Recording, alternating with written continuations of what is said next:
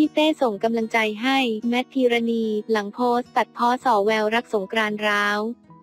หลังนางเอกสาวแมทพีรณีคงไทยโพสต์โซเชียลและแชร์คำคมทำนองตัดพ้อทำแฟนแฟนสงสัยว่าจะเกี่ยวกับความสัมพันธ์กับแฟนหนุ่ม สงกรานเตชนรงค์หรือไม่ และจนถึงขณะนี้ ทั้งคู่ก็ยังไม่ได้ออกมาชี้แจงถึงเรื่องนี้แต่อย่างใด ล่าสุดนายมงคลกิจสุขสินธารานนท์สมาชิกสภาผู้แทนราษฎร บัญชีรายชื่อหัวหน้าพักไทยศรีวิไลโพสต์ข้อความผ่านเฟซบุ๊กมงคลกิจสุขสินธารานนท์ระบุว่า ถึงน้องแมทพีรณีไม่ต้องเสียใจนะน้องพี่สมาชิกสภาผู้แทนราษฎรเต้ 007 เป็นกำลังใจให้เสมอ ชอบผลงานตั้งแต่เล่นละครเรื่องข้าบดินเล่นเป็นแม่ลำดวนละ